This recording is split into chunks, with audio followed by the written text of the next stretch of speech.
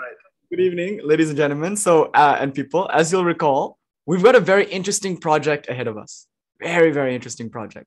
We're looking at a model, a philosophical model called the seven steps to enlightenment. As you know from last week's lecture, this model comes from something that the Shankaracharya of Puri, the current one, said in passing.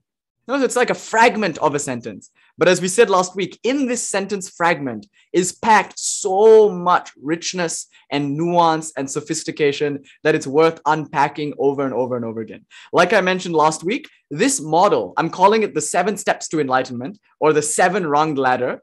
Uh, it's the model whereby a person can be brought from the gross to the subtle, but also whereby a person can go from the subtle to the gross. So this seven rung ladder these seven steps in this model that we're going to discuss represent a kind of kind of involution evolution model. Involution the gross dissolving back into the subtle the effect going back into the cause and evolution the cause emanating out or manifesting itself as the effect. So naturally these are a series of seven steps from the subtlest to the grossest or really from the grossest to the subtlest and last week, I think we walked up three rungs of the ladder. We have four more rungs ahead of us. So this is really the second installment of a three part lecture series. I think it will be three parts. I doubt that we'll cover all four rungs today. We might, but more realistically, if I am to finish on time, and that is my intention, uh, we're probably only going to cover the next two rungs of the ladder. So here's what I'm going to do. I'm going to start by reviewing a little bit what we did last week.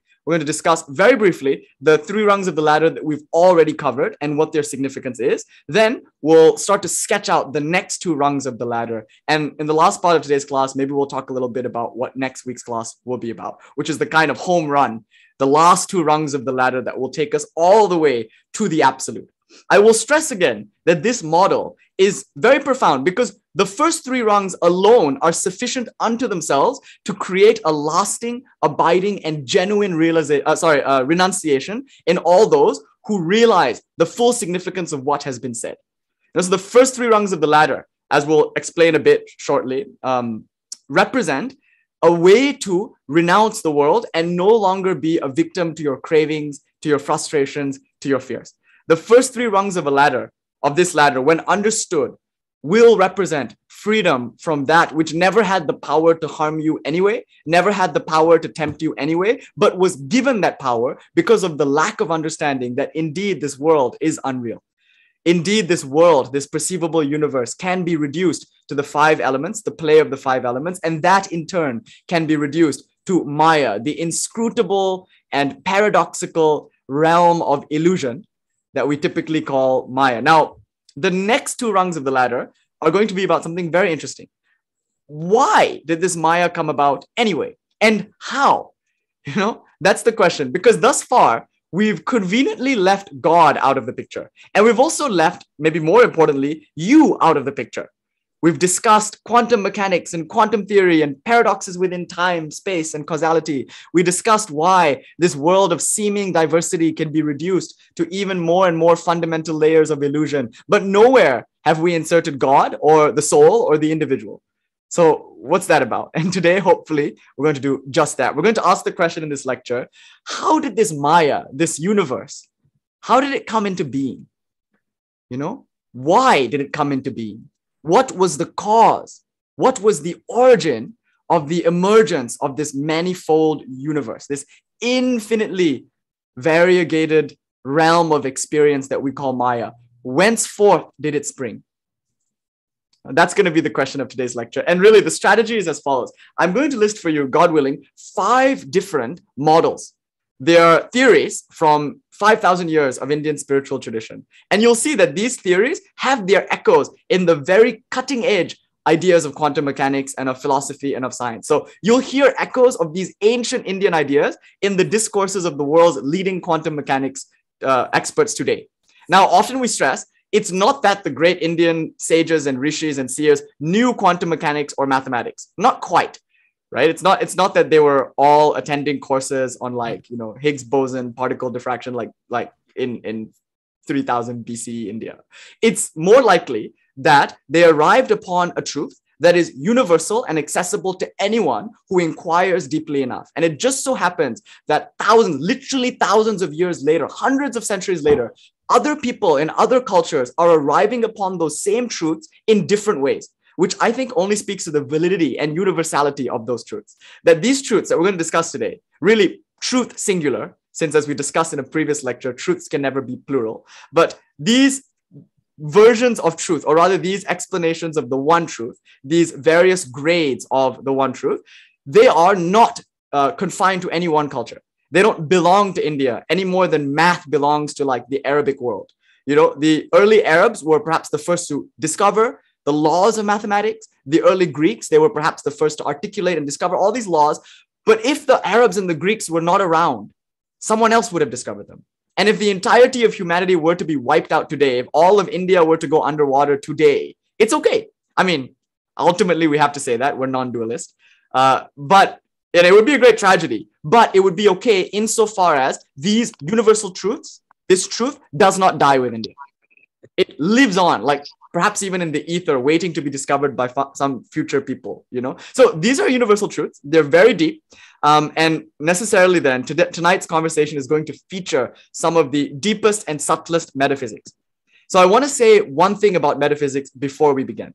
Of course when you hear these echoes in modern quantum mechanics experts you, you should understand that we're talking about the very frontiers of physics. We're talking about the very margins of language. We're, trying really as hard as we can to express the inexpressible with a language that is wholly unsuited for it. Language was not made to do what it is that we're setting out to do today. Language was not made to describe the absolute, which is unfettered by time, unencumbered by form, uncircumscribed by space. Silence is the closest approximation, and even that doesn't do justice for this one truth that is beyond all mental categories of existence and non existence. The thing that we're going to be discussing today is not a thing. It's a no thing. And as such, our thing based language, our materialist and sensualist language structures are wholly inept at trying to express it. Yet the effort will be made all the same. So, as we discuss today's very subtle and nuanced theme of a deep metaphysical speculation, there are many who I think feel like this is not a productive discussion. There are many who feel like metaphysical inquiries are speculative at best and perhaps not important, not practical, not worth our time you've probably encountered people like this. We we have at many times in our life felt this way. Like, why should we launch into such descriptions of the metaphysical nature of things? I mean, is it really that important? How practical could it be? Hmm? Right? I feel like that attitude has come to a lot of us. Here at the top of the lecture, before we even began, I'd like to say that the metaphysical question of what this world is fundamentally, the metaphysical question of what you are at your essence nature, the metaphysical question of what is the absolute nature of reality. There could be no question more practical than this. And it has many forms, right? These are various ways of asking the same question. What am I? What is this world? What is it for? What is reality made of? What is the ultimate nature? What is the fundamental substratum of existence? What is existence? What is consciousness? What is bliss? These questions, what is God? These are all various ways of asking the same question. And I'm going to call it in today's lecture the metaphysical question. It necessarily includes the theory of origination. It necessarily involves a creation theory. It has to include a discussion as to how all of this came about before we can even begin the discussion of why it all came about or what to do about it. And insofar as there are those who would tell you that this question is not practical, we offer this response. In order to know what to do with something, you must first know what it is. If you don't know what something is, how will you know to use it? How will you know what to do with it? Is this not as true of your life and of this world as it is of your IKEA furniture? it would be tragic. And by the way, there are some Scandinavian designs that do not at all look like couches or tables or cupboards until you put it together.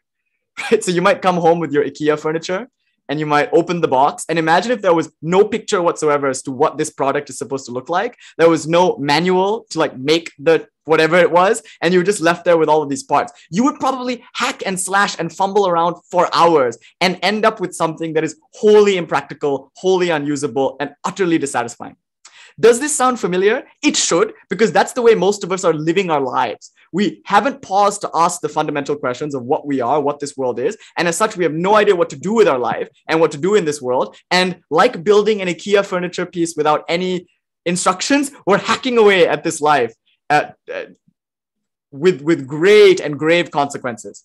There's so much frustration, so much dissatisfaction, so much misery, and all because we misplaced the user's manual for crying out loud. so, my claim at the beginning of the lecture is that you will never know what to do with your life. You will never know what to do with this world until you first know what it is. The metaphysical question is the most practical question and the most fundamental question. It is prior to all other questions. And once it is answered, then only do the other questions become available, like ethical questions, axiological questions about beauty, about value, about meaning making. All of that becomes possible only insofar as we have a firm grounding in the metaphysical question and hopefully in the metaphysical answer.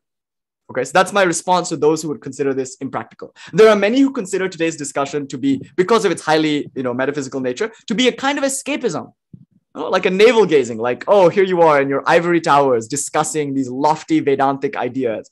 Why don't you like get involved with the world, you know? What 42 could end the lecture right now. I know Amy. 42, you know, hitchhikers guy. Anyway, uh, thanks, Amy. But like, why why would we do this? Because some people feel like all the time we take to discuss metaphysics is time taken away um, from the world, from being active and participating in the world. To this, we would say inaction is probably better than misguided action. So if you are going to take some time away from hacking and slashing in a haphazard way to figure out how to do things correctly, it's better that you don't do anything at all until you know the lay of the land. It's like walking into a room and hearing your friend screaming and crying, but not knowing really what he's upset about, and then starting to offer him advice anyway without knowing the full details of his situation. That would be incredibly glib, incredibly irresponsible, and will probably result in more harm than good. In that sense, we would say action is not in and of itself good. You know, inaction is preferable to misaligned action. So, insofar as you feel like this is a waste of time, I don't think so. I think this is an investment in correct uh, uh, action. Also, hello, Myra. I'm so happy to see Myra. Whenever I see old friends, I'm like overjoyed. Hi, dear Myra. Tuning in from Malaysia, I think. I don't know, but welcome. So, um, now we have to ask okay, what about escapism?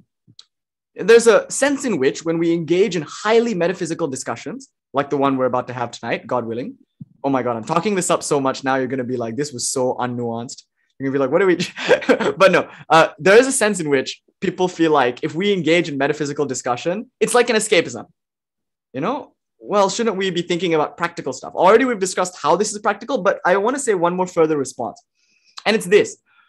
The only real escapism is avoiding the fundamental questions of our life because these questions are difficult to answer necessarily. They force us to confront deeply held assumptions, beliefs, and values. Many of those have been conditioned into us and indoctrinated into us from a very young age that they have a certain force. We might feel imprisoned by them, but the prison gives us a sense of safety. So we're reluctant to hand over the reins, to hand over our sorry our chains. You know, that we're reluctant to escape the prison.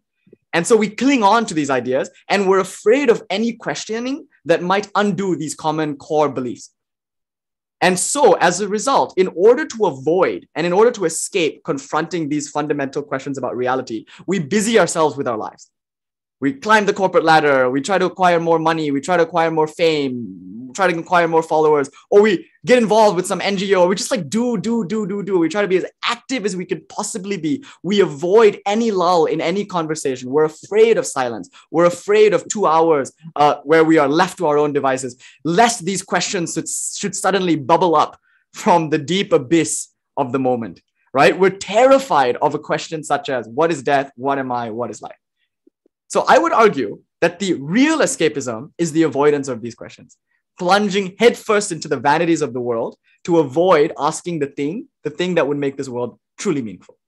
So I would argue that this is an escapism, but turning around to face the issue head on. Um, and as such, it has inestimable value for us. Okay. So much for preamble. Let's get right into it.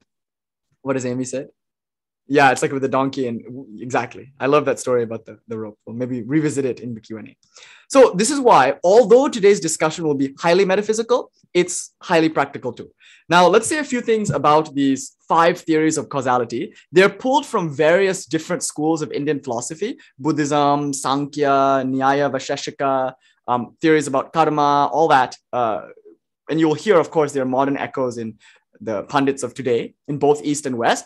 But I'm mainly basing this lecture off the fourth chapter of Gaudapada's Mandukya Karika.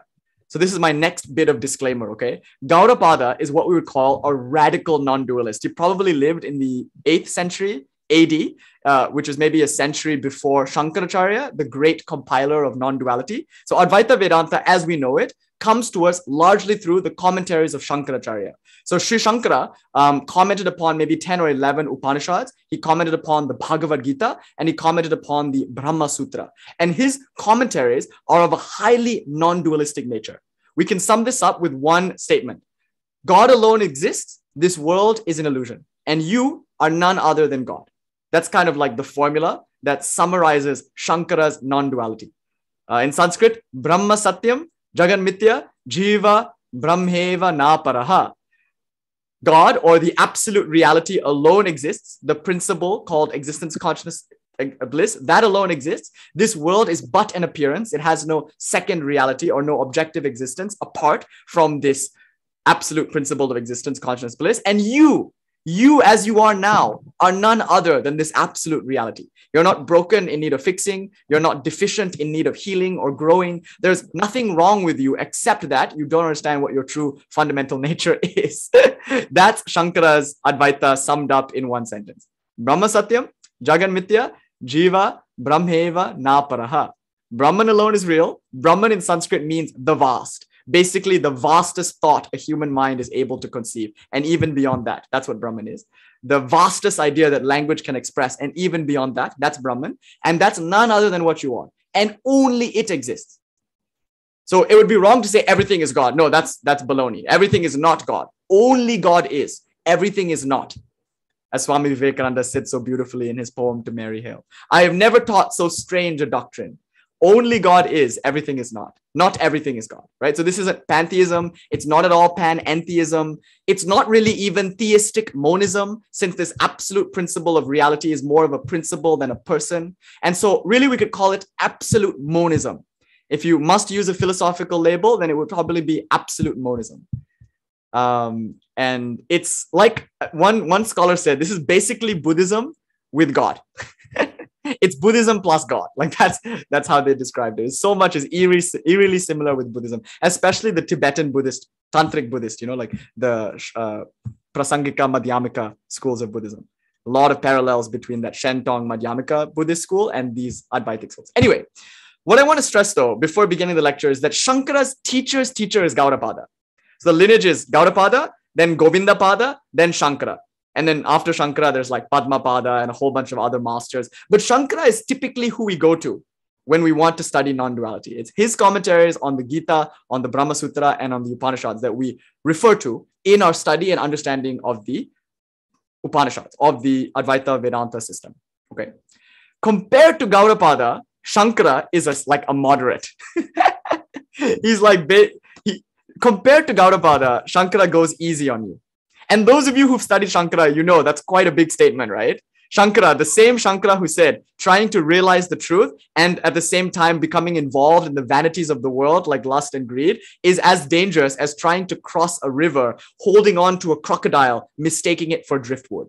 The very same Shankara who would tell you that all your ambitions, all your passions, all the things you find valuable in the world is nothing like silver appearing, a falsely appearing in oysters under the moonlight the very same Shankara who would tell you that all your fears are nothing but a rope appearing in the pre dawn light as a snake.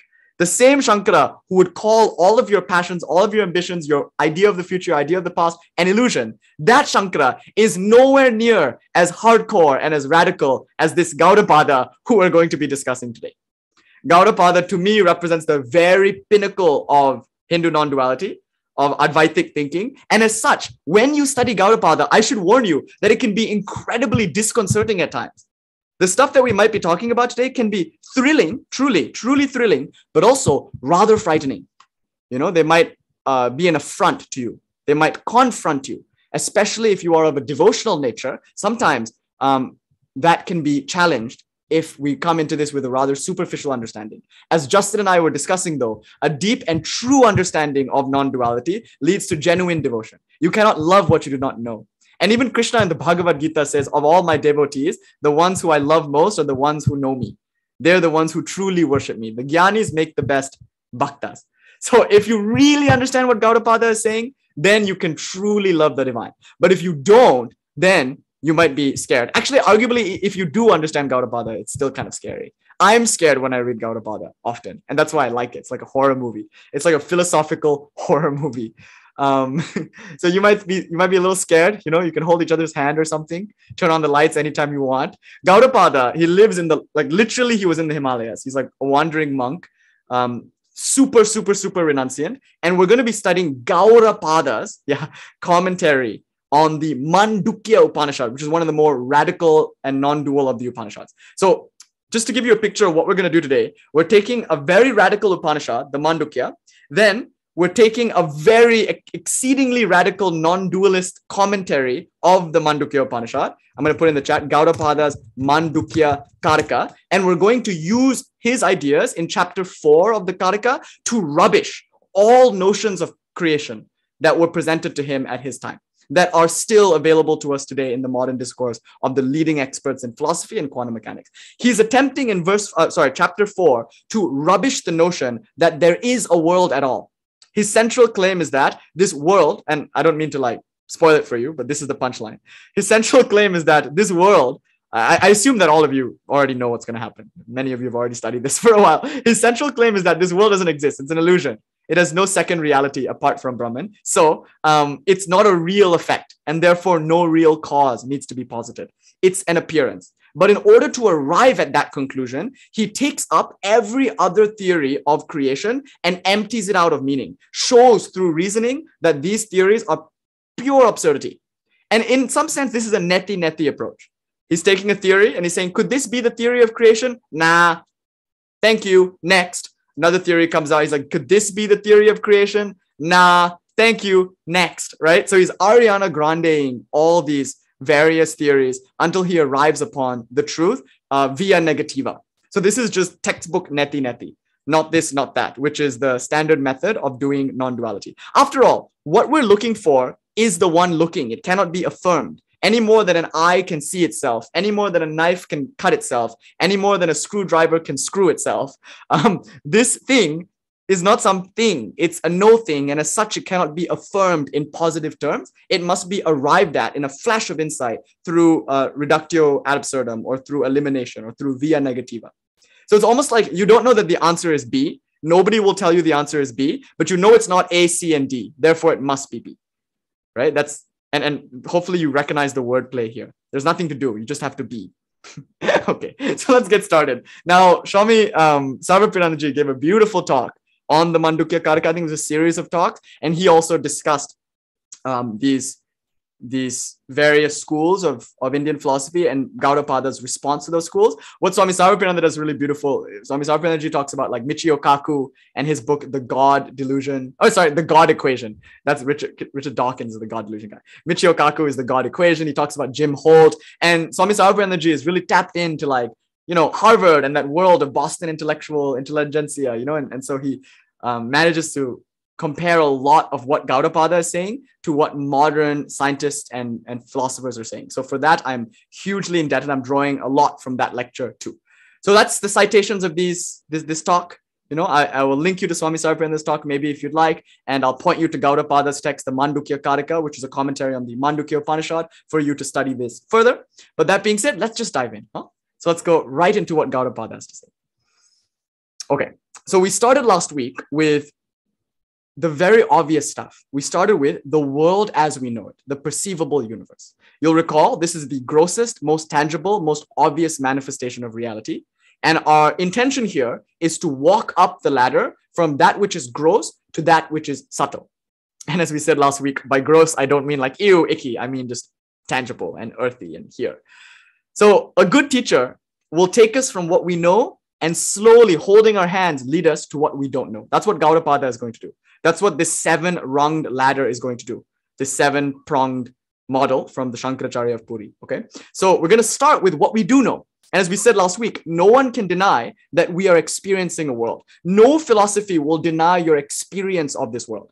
While indeed that uh, this the reality of the world is denied, as we'll discuss in a little bit, that you are experiencing it is not denied. That would be ridiculous to say that there was no world and neither did you experience one. No, you did experience it. You, you know that you're experiencing it. Right now, you're experiencing it. So let's at least start there. So we said last week that if you take this world as it is, we just call it Jagat. And in that word Jagat is included all planets, solar systems, you know, all um, galaxies, all clusters, all superclusters, maybe even all the multiverses, anything that's perceivable or conjecturable, I guess. Okay, that's the known universe or the perceivable universe.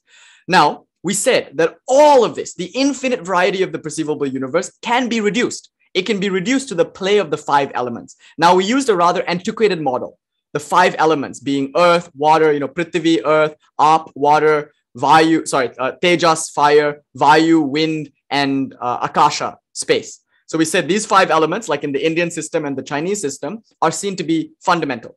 And, and like we said, in principle, that's exactly what Antoine Lavoisier was trying to do too when he started his new periodic table, which we still use today. It's the idea of like a periodic table and elements, or the idea of basic particles like quarks or like atoms, you know, superstrings, whatever. In principle, a physicist, a really good one, or a chemist even, will be able to reduce all of this to a few basic properties. And everything that you see is some configuration some recombination of these basic properties. So everything you see around you is just atoms configured like this configured like that. Maybe they're all just superstrings. Now it's appearing as a table. Now it's appearing as a thais, etc., etc.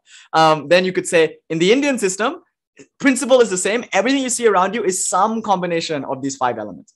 That means you have a powerful tool for enunciation. Why should you prefer one thing over another? Why should you have attachments? That which you are attached to is nothing but the five elements. What is it beyond that? That which you are averse to, again, is nothing but the five elements. Why should you be averse to it? That's nothing, there's nothing here but the five elements. All you're doing is superimposing onto these five elements stories and narratives, and these very stories and narratives chain you to a cycle of attachment and aversion, pleasure and pain, happiness and sorrow.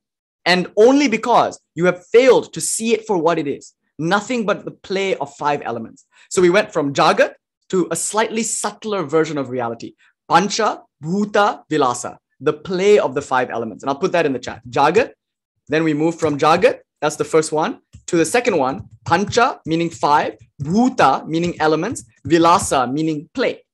This whole thing is the play of the five elements. Then, as you'll recall from last week, we went from Pancha Bhuta Vilasa to Maya. By the way, you don't need to make this step to achieve renunciation. You could stop at Pancha Bhuta Vilasa, and any good scientist would. Um, and that alone is enough to give you renunciation. I will stress again that there is no genuine spirituality without renunciation. Spirituality, honestly speaking, is the cultivation of renunciation. It's the gradual deepening of your ability to let go of that which is unreal and hold on truly to that which is real.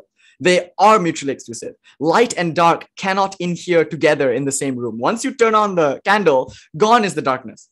And gr- under- understandably, a candle light is small, but as the fire grows, the darkness gets pushed away. They are mutually exclusive. Light and darkness cannot coexist. Okay, this is a basic principle. And by the way, a room might have been dark for aeons. All it takes is one single flash of light, and that darkness is dispelled forever. So it doesn't matter if ignorance is beginningless, it is endless. It's not endless because the moment illumination comes, and it can come to anybody for any reason at any time, it's like striking a match, the darkness is dispersed. So, similarly, worldliness, the attachment to external experience as a means of fulfillment, that will go away the moment you realize that what you're seeking is nothing but the five elements. Lust is significantly reduced if you can consider this morbid attachment, as Swamiji said beautifully, this morbid attachment for flesh to flesh. If you really consider what's going on here, you'll realize why should I hanker after these five elements? They're the same five elements that are in that body, are in this body, are in this chair, are in this tree. Gone is lust if you can truly understand there's nothing there that isn't here, right? Gone is greed when you understand that gold and clay are made of the same thing. They're both just the five elements, both just earth. Why privilege gold over clay? It's not different from one another. You see, a good scientist without any spirituality or theology or any kind of religious, quasi mystical vocabulary, a good scientist, if they were to stay true to what they've discovered in their inquiry, should be a renunciant. or at least they should be peaceful. They should be infinitely peaceful, having at least mitigated the intensity of craving and the intensity of fear. Nothing is here other than the five elements. So relax. Boogeyman is made of five elements, right? So relax. What is it to you? but anyway, we can go further because you could say, okay, fine, but there's still something, right? Five elements are still something. And maybe like you could say these five elements are a set of elements apart from the ones that are here. Even though they're fundamentally what I am, I would like to add more. I want to be five elements plus those five elements, and I want to be two sets of five elements. I don't know. As long as the world is somewhat real, it's somewhat desirable. And so renunciation is not yet complete. So we go now to the next step, which is Maya Vilasa, the play of Maya. I recognize that I said it twice. It's good. This is good pedagogy. You have to stress the important parts of the lecture. So I have to stress that this world is Maya. What does that mean? It means that it's incomprehensible, inscrutable, and ultimately illusory. But we haven't really gotten to it being illusory yet. Suffice to say, this world is indeed a paradox. And we tried to prove that last week, offering various arguments as to how time is paradoxical, as to how space is paradoxical. You know, we used Zeno's paradox and we used um, an appeal to Gödel's incompleteness theorems in mathematics. We appeal to Heisenbergian uncertainty and the Copenhagen inference. We did many appeals to quantum mechanics, both theoretical and experimental, and we appeal to philosophy, both ancient and modern, to show that this world, its very laws, is in and of themselves an error. and you know, in logic, when you do formal logic, you can prove any um, axiom or I, I guess you could say any proposition, you can prove any proposition by proving a contradiction in its opposite. Okay, so if I say, um, take proposition A, its opposite is not A. If I go through the steps of reasoning, then I arrive at, like, say, a contradiction, it disproves not A, which indirectly proves A. Okay, so if the opposite of A is false, then A must be true. And so the world is that which is here, that which you can see, and we disprove it using reason and logic, using appeals to modern and ancient philosophy. We show the contradiction. We, we reductio ad absurdum time, space, and causality, which is the matrix of reality as we know it. And therefore, by invalidating this proposition, we actually prove its opposite. Hint, hint, God, right? So Sri Ramakrishna can easily say, this world is nothing, God alone is real. That's why the Bible, time and time again, tells us not to lay up our treasures where moth and rust doth corrupt, where thieves break in and steal. Where your treasure is, there your heart lies. So if your treasure is out in the world, you'll be thinking about the world. And like Mick Jagger, you can't get no satisfaction there. Okay. But once you realize the world is an error, then you also realize that that's why you've been so unhappy because you've been premising your entire happiness on an error on a paradox, on a logical incongruity. Once you know that, then you can live more intelligently because no longer will you premise your life on those external rewards like money, fame, pleasure. No external experience, however noble and beautiful and pure, will ever ultimately do it for you. Why? Because the external world is premised on this paradox the paradox of time, the paradox of space, the paradox of causality. Okay, all well and good. And I think a couple of maybe many weeks ago, actually, we talked a little bit about why this world is unreal and we appealed to different arguments than these ones. Like the water boiling. You remember that one? Heat is intrins is not intrinsic to the water any more than existence is intrinsic to body's mind. And you remember that? Anyway, that was from a different lecture. We won't revisit it. But there are other arguments too to prove this world is not objectively and independently real. Now, let's go further. So let's take the next step in this journey together. Let's prove that the world is indeed not independently real. By the way, this takes on the material reductionist worldview head on. Because according to material reductionism, which is this modern philosophical fad, so we currently live under the world dominated by material reductionism. That's the it's not always been this way. It's a very modern theory, but it's the current philosophical fad. It's kind of what we all are born into, what we're indoctrinated into, and what we just believe prima facie without any kind of inquiry. But this is the belief, and it is a belief, as you'll see in a bit. Matter and energy are fundamental. The fundamental nature of reality is premised on matter and energy. They exist, and they exist objectively, independently of any perceivers. So you don't need humans or any other conscious being to be there for this world to exist. This world has independent, objective existence, right? Kind of the dominant theory today. It's called material reductionism. Everything can be reduced to matter and energy. And that is objectively real. What is consciousness then, according to this worldview? Very simply, consciousness is in the material reductionist paradigm um, a side effect or an emergent property. It's an afterthought. You know, so somehow matter is configured in such a way as to create a body, which over a long period of evolution evolves a brain. Bernal, no, Bernal, you're ruining the punchline. I'm kidding. He's right. He's right. This is an error for an obvious reason, and we can show it. We don't need to appeal to some holy book and say God created the. No, no, we can prove it easily. It's such an easily provable position that this material reductionist worldview is wrong. But anyway, let's let's at least sketch it out first before we take it down. Now, the brain evolves after a series of years, I mean, evolutionary process of the brain, and then somehow, nobody knows how, but somehow the brain with its infrastructure produces this first person experience called consciousness. Okay, so we're conscious of this world. We're, we're experiencers. We're, we're aware of having this experience. And it's because the brain is somehow emanating it, the brain is somehow creating it. But how is the brain creating it? Now, this is where the shoe pinches, as Swami Vivekananda would say. A material reductionist believes on faith that there is indeed a link between the brain and the mind. They believe on faith that the brain does indeed produce a mind. Why do they believe this? Because if you damage the brain, you damage the personality. Here's the problem though the personality is not the first person experience. The personality is not the experiencer, it's an experience that the experiencer is having. So Phineas Gage, he's a first person experiencer, somewhat beyond the phenomena called Phineas Gage. So obviously, if you blow out a part of his brain, he will be more violent and aggressive. And he's aware of that. In his first person experience, he's aware that his aggression has increased. And unfortunately, so are you. Much to your chagrin, he's a much worse guy to be around. Okay, just because there's a correlation between the brain and behavior doesn't necessarily mean there's a link, uh, by no means a causal link between the brain and the phenomena, the very mysterious phenomena of a first person experience. No scientist would really ever honestly posit this con- uh, causal link.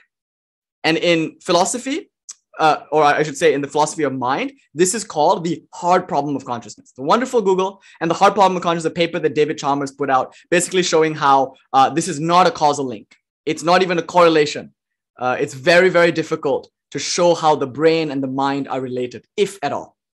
You can map the brain to remarkable degrees of precision, right? You can really, really, really study the physical stuff called the brain, but you'll never be able to show how the neurosynaptic firing equals causally first person experience. Very difficult to do that.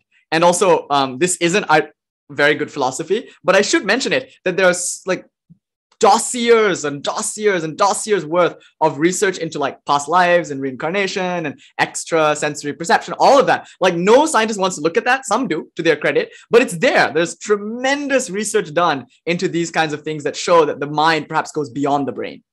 I just thought I'd put it out there. I don't sin like I don't actually mean to use it as a defense.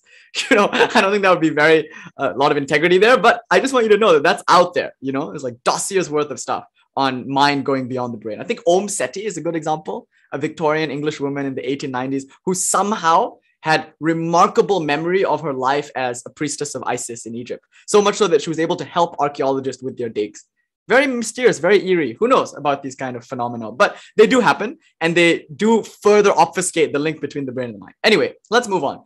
I want to point you to something else too, something even subtler. And it's in philosophy called the category error.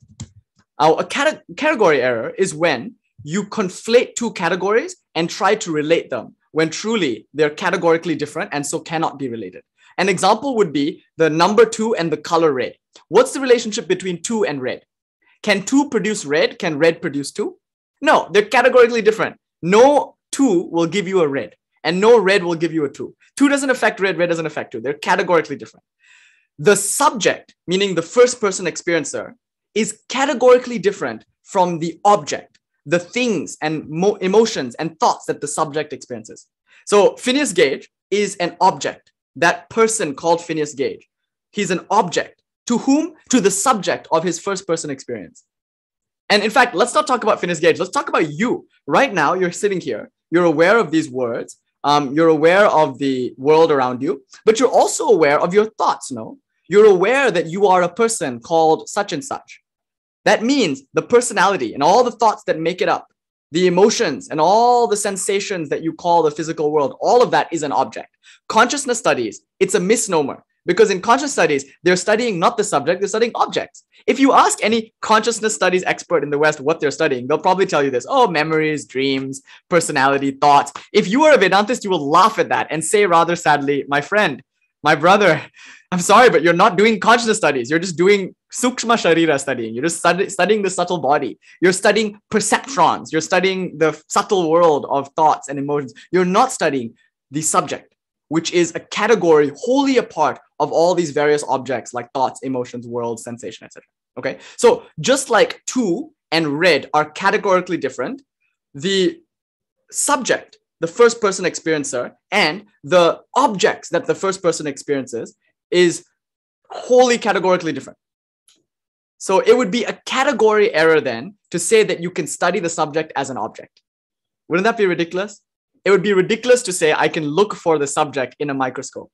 Didn't David Hume say, I have exhaustively tried to find this self and I can't find it anywhere? Of course you can't, you dolt. I'm sorry, I'm just, I'm getting passionate here. Like, of course you can't. You are the one searching. How can a finger point to itself? How can a knife cut itself? How can an eye look at itself? Okay, don't speak ill of the dead. So forgive me, Mr. Hume. I do love your work, especially your stuff about the sunrise and like optimistic induction. So I do love your work. But on this point, I think you are wholly, wholly, wholly off the mark. Okay.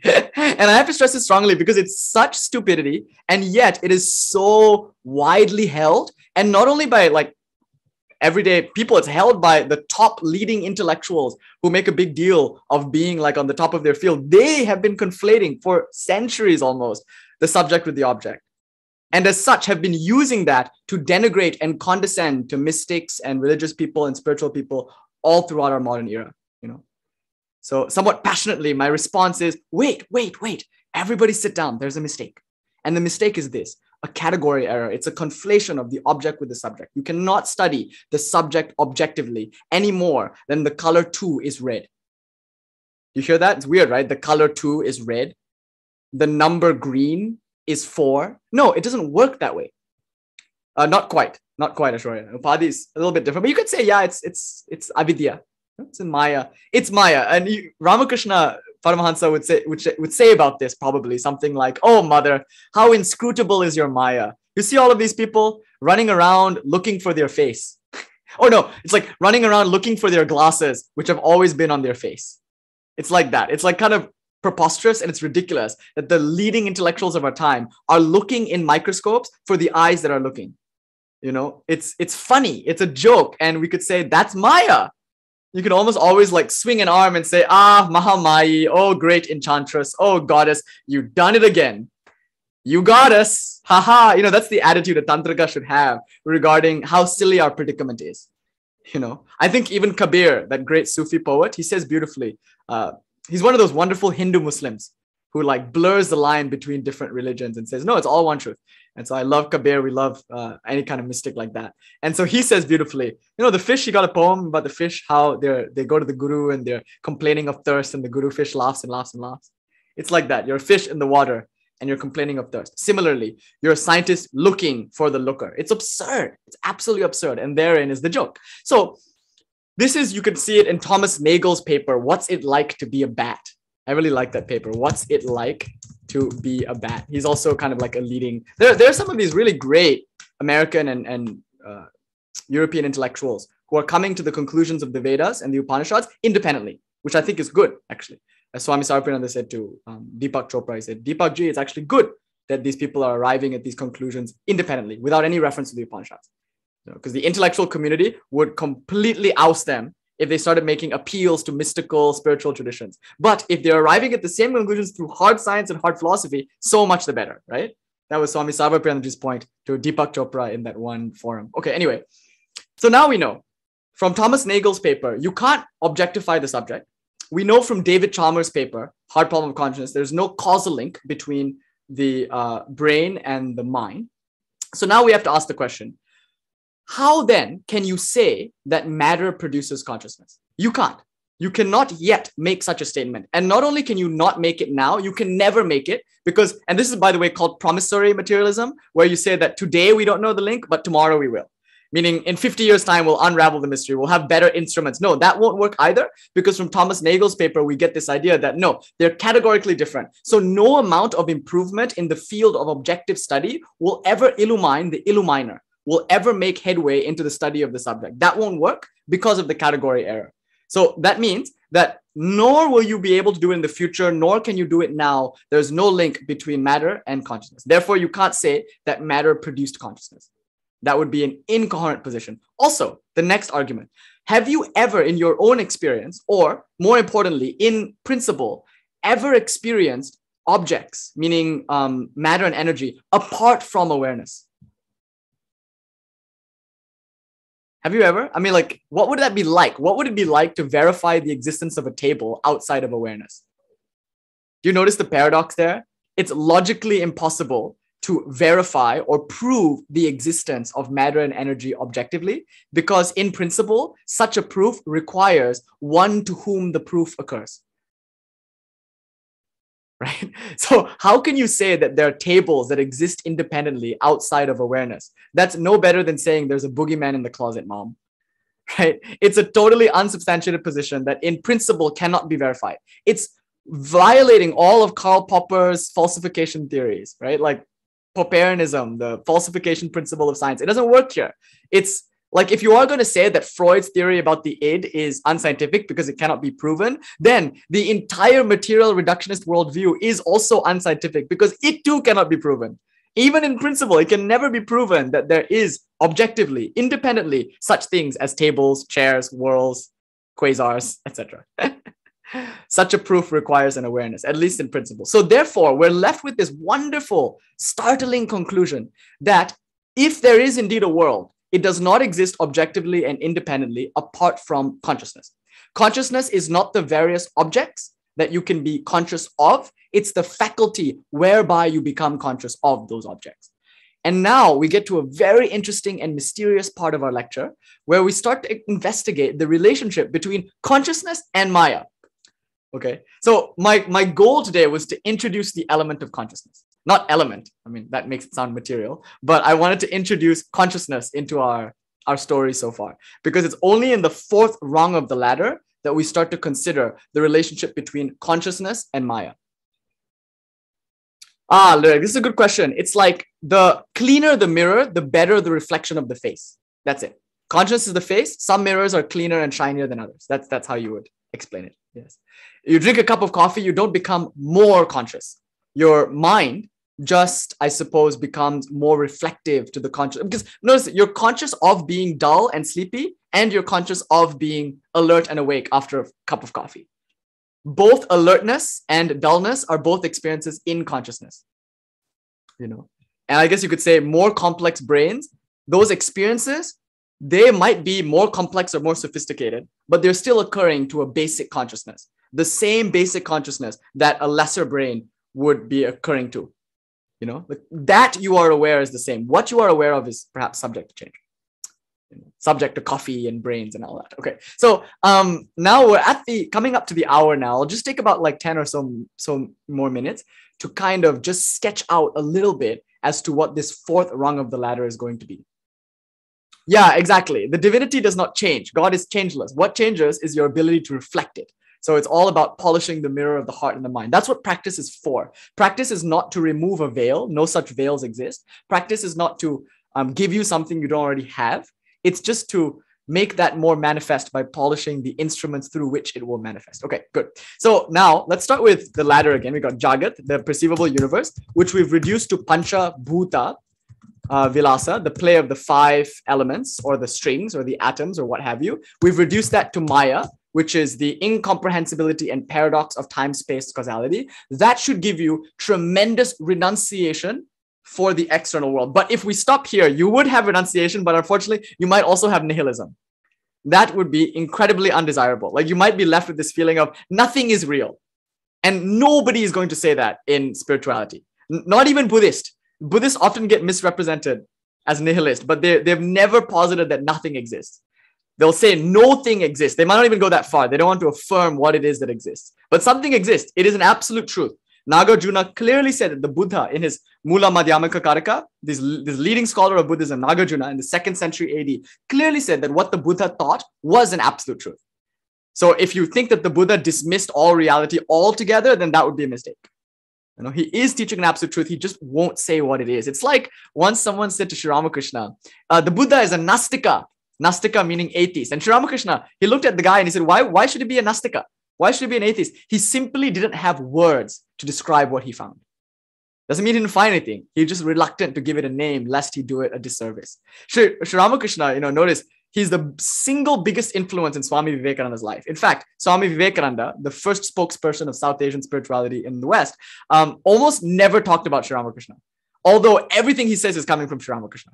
Swami Vivekananda is a channel through which the power of the avatara is manifesting in the world. And yet, scarcely does Swami Vivekananda mention his guru, mention his Ishta, mention the God that he had the, the, the, the, the joy to be a, a, student of. You know, he even says he calls him the mad Brahmin, the old man, he calls him a certain sage, but he almost never directly appeals to him. Now, once he was asked about this, someone asked Swami Vivekananda why he didn't speak of Sri Ramakrishna. And he said, It's like trying to sculpt an image of God. I might end up with a monkey or something.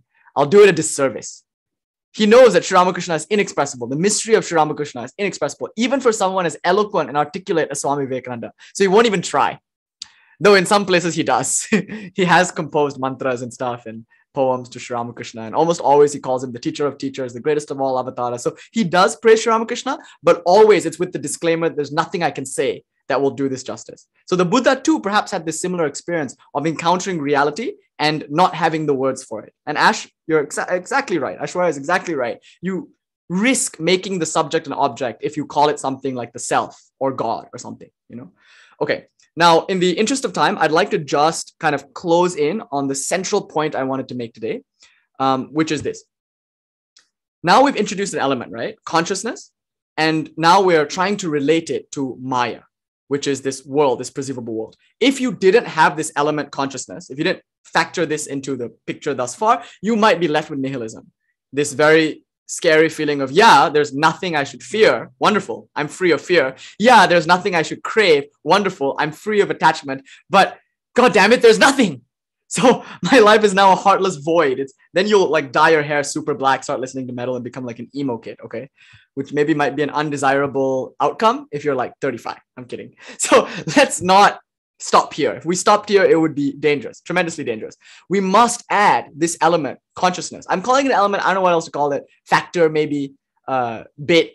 Let's call it consciousness. And this thing is God. Okay, so when I say consciousness, you should think God because God is the infinite source of eternal aspatial consciousness. Now, I just said earlier that there's nothing that exists that exists outside of consciousness. Conscious, therefore, is wholly inclusive of all existent things. Essentially, those of you who've been studying Advaita for some time know that essentially what we just said was that common to all existing things is existence itself, and existence itself is inalienable from consciousness itself not your individual perceptive consciousness, not you as a mind. It's not solipsism. This is beyond solid. Like it, it doesn't get like individual here. It's transpersonal. The idea that there is something called awareness. You are aware by faculty of this awareness, and this awareness might as well call it God because it's beyond the world. You know, you're aware of time. Time is not aware of you. Therefore, time awareness is not in time. Time is in awareness. You're aware of space. Space is not aware of you. Therefore, your awareness is not localized. It's not designated to a certain space. Like wherever you think your postal code is, yes, my awareness is there. No, no, no, no. Awareness is aware of that postal code. It's not in that postal code. That postal code is in awareness. Awareness is not caused, nor is it an effect. It's aware of both cause and effect. So, awareness, by all definition, is beyond time, beyond space, beyond cause and effect, is all inclusive. In it is every possible thing that was, is, and will be. Um, it's immaterial, it's not embodied, uncircumscribed by time, unfettered by form, unencumbered by space. What do you call that but God? In fact, I don't know of any religion anywhere that posits God as an insentient mass of stuff, except maybe materialism, because I just said it is a kind of religion. But I mean, theistic religions. There's no theistic tradition in the world that depicts God as insentience. almost always, maybe with some exceptions, but almost always, God, as we know it, is a being, pure being, pure consciousness, pure intelligence, and is the designer, the will behind this universe. Through the conscious will of this pure intelligence, this world came into being. This is the theistic worldview. And now, the theistic worldview offers this story of creation God created the world, you know? Um, and that's wonderful.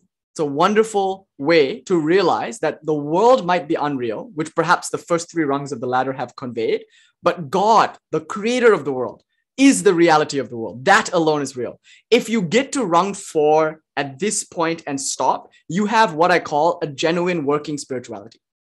You have what in Advaita Vedanta we would call the two fundamental prerequisites to starting your path in Advaita Vedanta. You would have Vairagya, dispassion for the world, knowing that it will never fully fulfill you. After all, it's unreal. And you would have viveka, the understanding that there is something real. You call it God, you can call it consciousness, you can call it spirit, Holy Ghost, the source, whatever you want to call it, but it's real. It must be because it's the one indubitable part of my experience.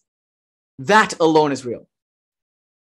And I think two or three lectures ago, we talked about Descartes and why, if he was smart, he would have become a monk because he would have realized that there's nothing but awareness that is indubitably true. So, why should he not live by that? Why should he live by that which is unsure of and not by that which he is sure of? Spirituality is really about premising your life on that which is indubitably true. Awareness, that you are aware. You know, whether you call it God or not. So to live a God centered life is to live an intelligent life insofar as God is seen as the one real thing and this world is seen as perhaps a creation of God, but an unreal creation of God. And even if it's a real creation of God, however beautiful the creation might be, how much more beautiful do you think the creator is? You know? Like almost everyone enjoys meeting the musician who wrote the piece of music that you enjoy. Why be delighted by the garden when you can go and look for the owner of the garden the gardener? You know why be so fascinated by creation when you can seek the creator? This is enough for dualistic religion. This is enough for a working dualistic faith okay? So this is what i would argue is real religion. The world is unreal renounce it okay? God alone is real move towards that whatever that might be to you this is where maybe most religion stops. Therefore, we could say in rung four, what we have now is Chid Vilasa. So I'm going to recap it. Jagat, Pancha, Bhuta, Vilasa. Right, you got you got it. I, I, I Pancha Bhuta Vilasa. Then after Pancha Bhuta Vilasa, we got Maya Vilasa. What is Maya Vilasa? We can call it Chid Vilasa. The play of Maya is none other than the play of consciousness you know, the Indian spiritual traditions are not as serious as the Western counterparts. There isn't like this grim, bearded figure on a throne, like kind of begrudgingly creating a world. Usually it's like a playful entity that just wants to play in a childlike and simple hearted way. And so the creation of God is almost always called a lila, a play. It's theater, it's God's theater. God so desired to play that she emanated this world into existence. That's the opening line from the Pratyabhijna Hridaya Sutra, right? Um, Svecchaya Svabhittau Vishvam Unmilayati. Chitti Svatantra. Uh, God, Chitti, which by the way means consciousness.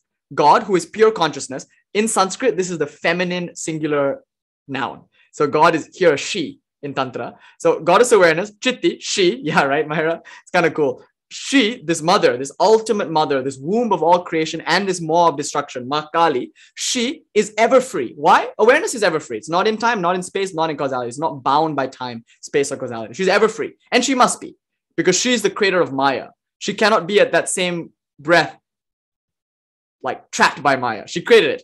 She who made the law can overturn the law, right? The snake is not poisoned by its own poison right? So similarly, God is not bound by its own Maya. So she creates Maya. Why? For fun. Sva icha. Using herself, swa bittao, as a canvas, she unfurled it all into existence. So that this is the idea that we get in Tantra, we get in the um, Indian, I guess you could say dualistic approaches. By the way, I just cited a non-dual text, but it kind of gives you the sense of like, okay, if you want to speak dualistically, then you could say God created the world. For what? For fun, for play. Now, if you stopped here, you'll be very happy.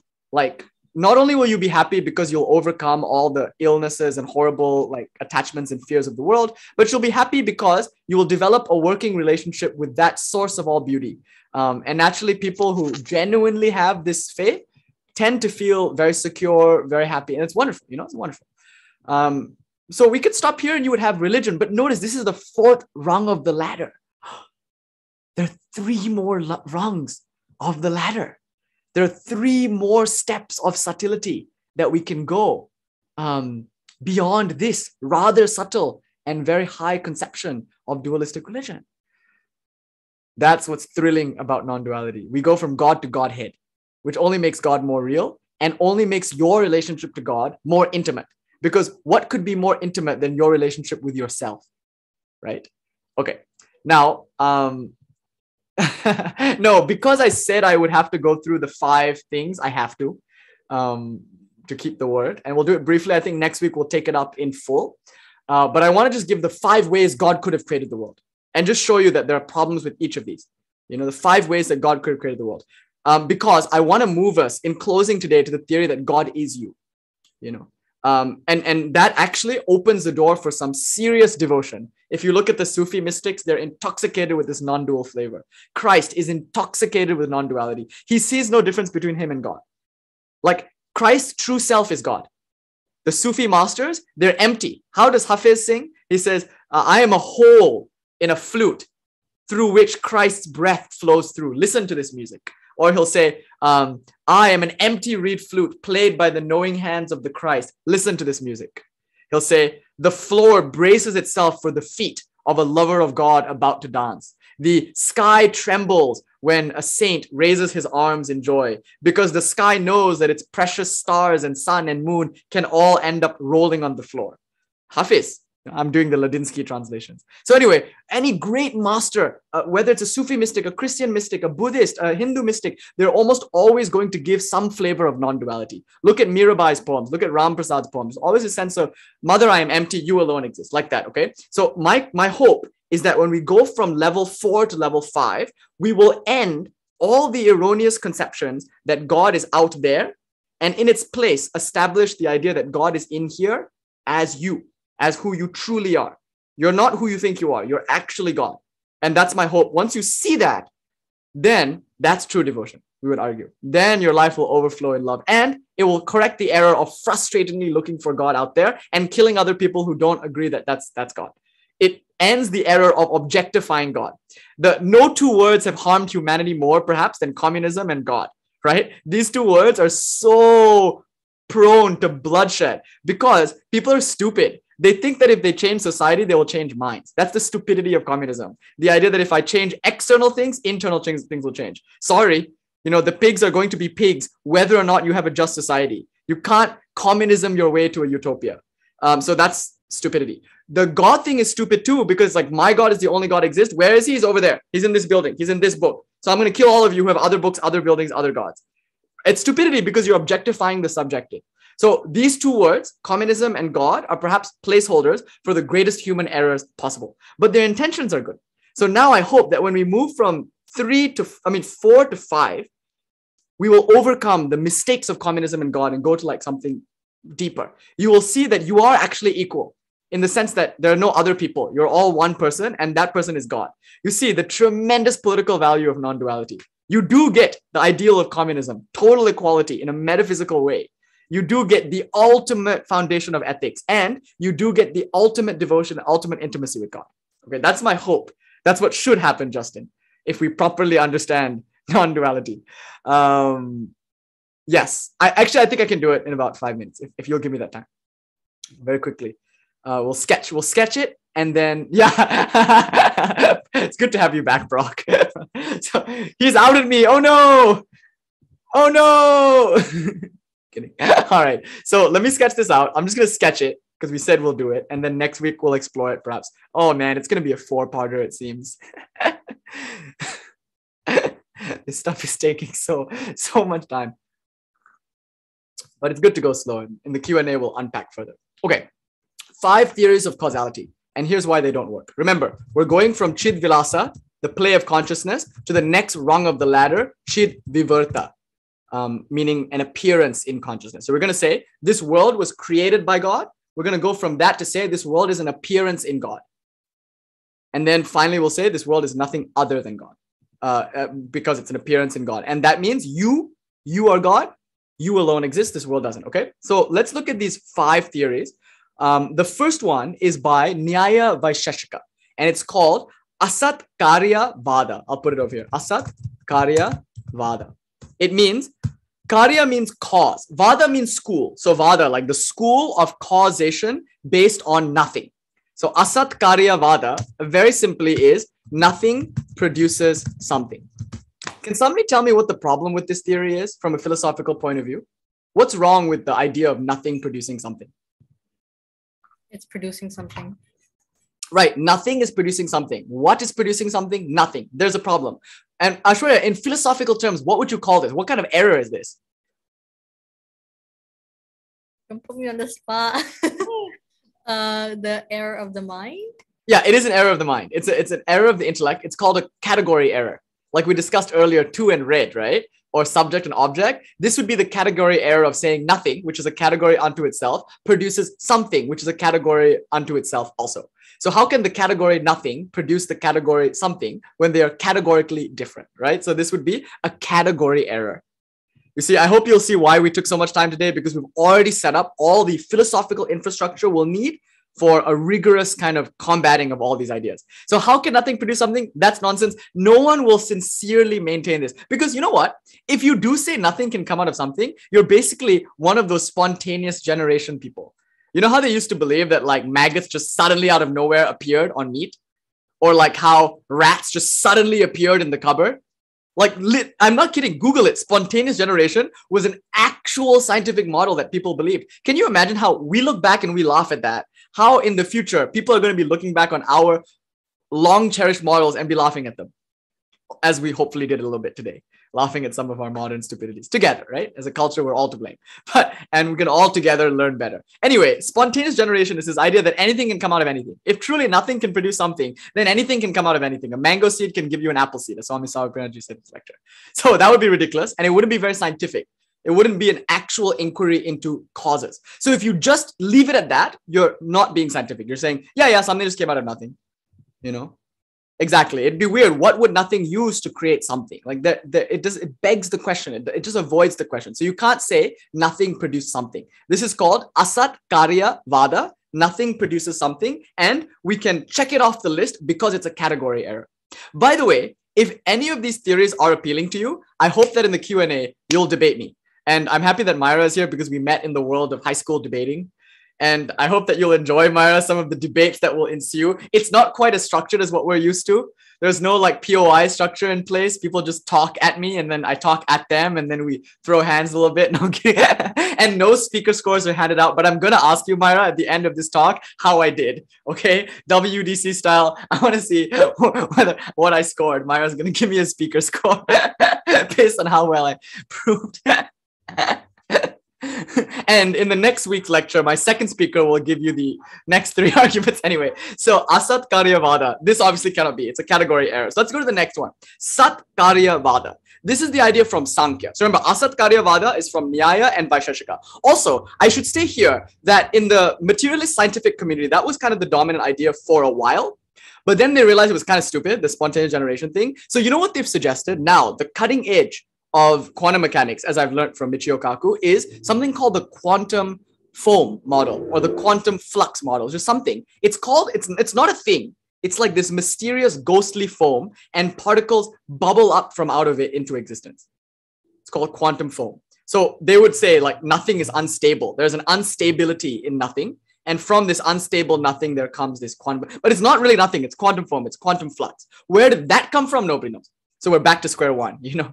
Um, but there is some kind of substratum called quantum foam, and it produces this world. Anyway, the this I guess you could call is some form of Sat Karya Vada. So the next idea, I'll put it here: Sat Karya Vada.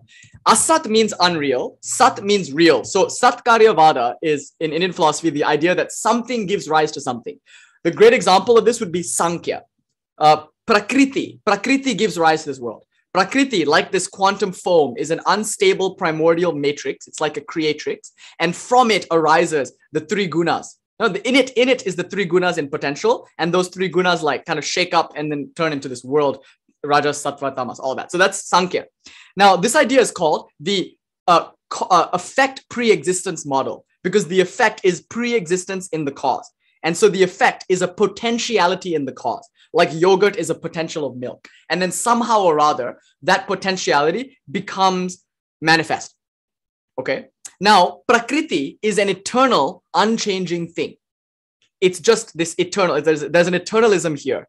Okay, Prakriti is eternal. And from this primordial matrix, Prakriti, comes a world. Now, is the world changing or unchanging? Obviously, it's changing. So you're to say now that this eternal, unchanging Prakriti is producing a transient, changing world? Hmm. Doesn't that also sound like a category error? The nothing cannot produce a something, neither can the eternal produce a transient, or the unchanging produce a changing. They can't both be true. You can't both have unchanging and changing. Uh, they're categorically different. So again, we have to invoke the principle of category error, and we say, no, the eternal Prakriti cannot give rise to a changing universe. But there's an even if argument here, which is, okay, suppose it can. Suppose that an eternal, unchanging Prakriti, part of its ability is just to create a changing world. Suppose it can. We're still left with the question of where did that come from? You know, how, well, it's just quantum foam again. It's just quantum flux. Like it doesn't, it evades the question. You've just given me, you've just posited this thing called quantum flux or Prakriti. And you've said that this unchanging thing produces changing, which is a category error. But even if I give you that, I don't, I'm not satisfied. You didn't tell me where Prakriti came from. You know, it just is. Well, it's not very scientific. That sounds like spontaneous generation also. So we can cross Prakriti off the list. That would be Satkarya Vada.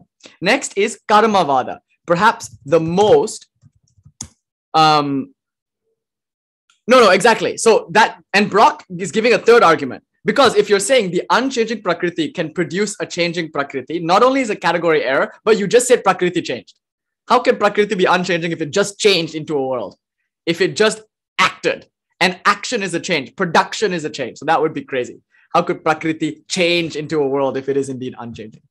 Okay, so that tackles the Prakriti thing. Now, um, next is Karmavada. Karmavada, and by the way, next week I'm, I'm going to go into it in more depth. This I'm just sketching because I said I would, so I want to for truth for truth's sake and then we'll just leave it at that okay? So karmavada is perhaps the most common theory. We looked at nyaya, nyaya vaisheshika we looked at sankhya. Karmavada is perhaps the most widely held indian theory and it's the idea that all effects have causes. Causes ad infinitum. Of course this will give you the problem of infinite regress because if every effect has a cause you can just go on and on and on and on ad infinitum and that would be a problem. Philosophically infinite regress is like you're not positing anything you're again evading it with this infinite series. But there's a deeper problem here. If this series is beginningless, doesn't it sound like also endless? If every effect had a cause ad infinitum, then there would be no end to this thing called karma, this thing called samsara. There would be no final effect. And as a result, you would not have moksha, the very idea of spirituality as the end of birth and death and rebirth as the way out of the cycle of samsara, that would be rubbished by a beginningless series. The series Anadi, a beginningless series, sounds dangerously like an endless series. And that would be in violation of the principal goal of spirituality, which is freedom from the cycle of cause and effect, from the wheel of birth and death. And even if you say it does end, there's another problem. Even if I grant you that it ends, then you're saying moksha begins. And anything that begins must have an end as Aishwarya pointed out. So if moksha begins at some point in time, presumably when this beginningless series, karma, ends, then that moksha that started must also be a moksha that ends. Anything that starts must end, right? So that's another way of dismissing karma vada. The fourth one is called Vishisht Advaita Vada, which is perhaps a very sophisticated way of saying, no, God is the world. It's like panentheism. The idea is that God produces the world using her own body right? Vishva Sharira Shivaika Eva Rupa Kevalam. No, sorry. Vishva Sharira Shivaika Rupa Eva Kevalam. God is the being whose body is the universe. And Aishwarya is one step ahead of me. I just quoted a tantric source. Yes, in tantras, they say, um, you can't say it's Tantra is very wide. So there's like all these different schools. And the highest Tantra, like we're studying on Thursday, wouldn't say this. But yeah, you could say in many places, Tantra and Vishishtadvaita, qualified non duality, would say God produces the world, but not as some other thing that exists independently and objectively apart from it. Not like the Asatvada or Satvada kind of model, not like the Karmavada model, not like that. There's no beginningless series of cause and effect. God creates the world using herself as the canvas. So her body is the world. Panentheism, Bernal. It wouldn't be pantheism. It's panentheism. And don't, no, no, be very careful about any statement Tantra is. Okay. It's almost always going to be wrong. Anytime you say Tantra is, whatever you say after that, you're going to be wrong because it is and it isn't. Tantra is a lot more than what you might posit.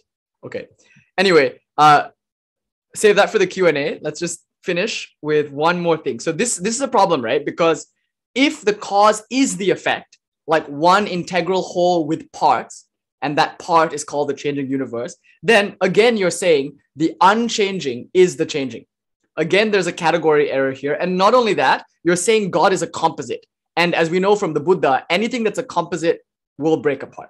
God can't be a composite. God has to be one integral whole. So you can't say the unchanging God produces a changing world, nor can you say a God who is undivided and whole is a composite. That would be problematic. And it's also kind of weird to say one part doesn't change and one part does change. It's about as weird as chopping the head off of a chicken and expecting the bottom part to still lay eggs.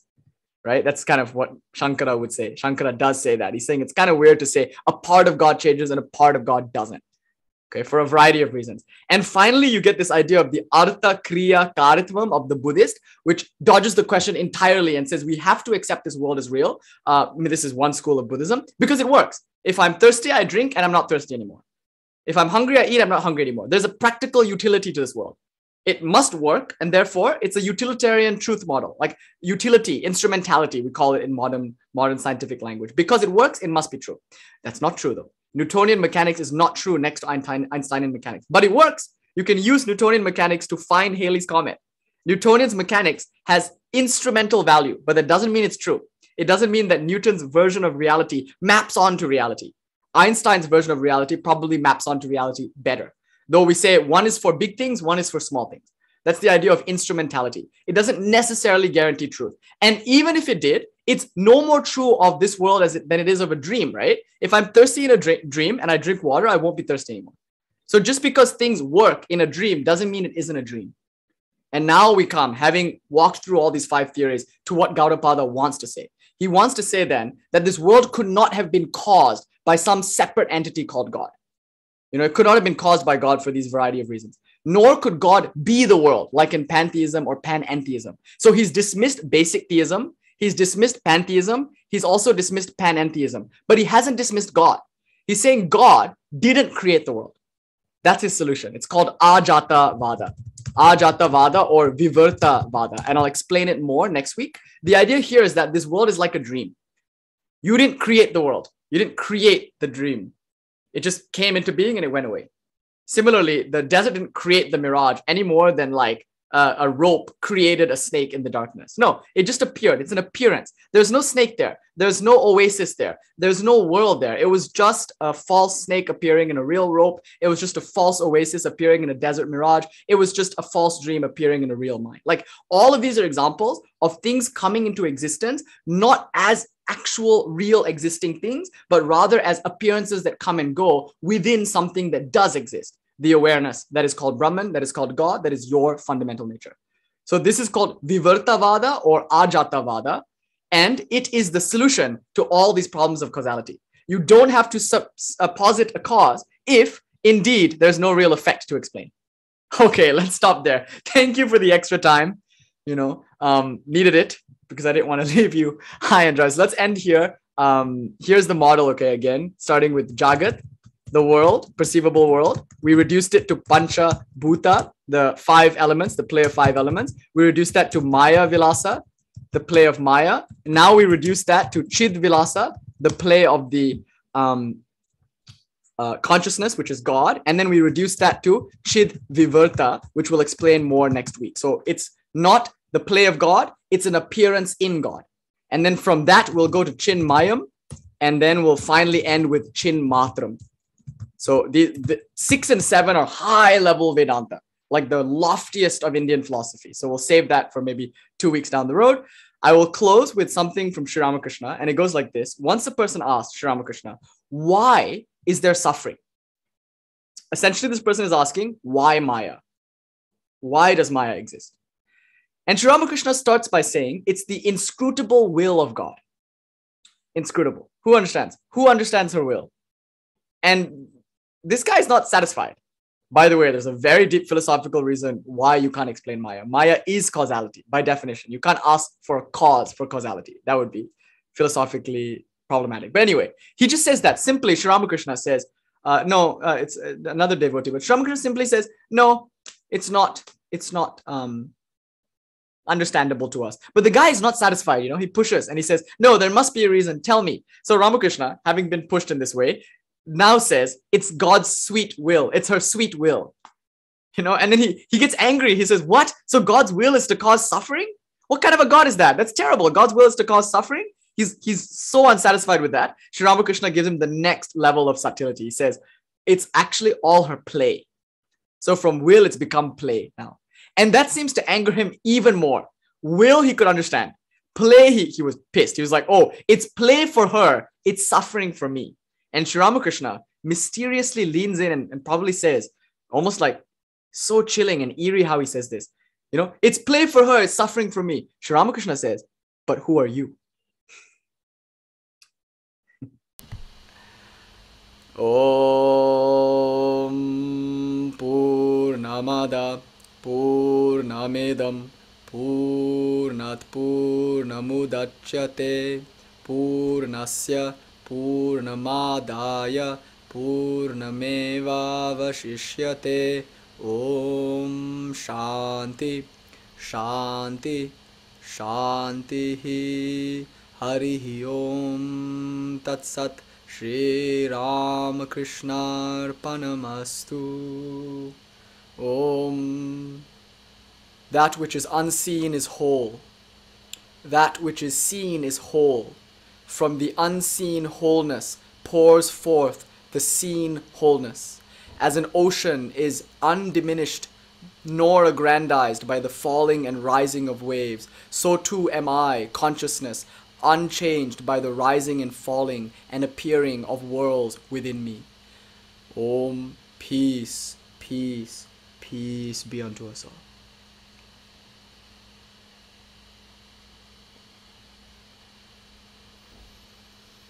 Hmm.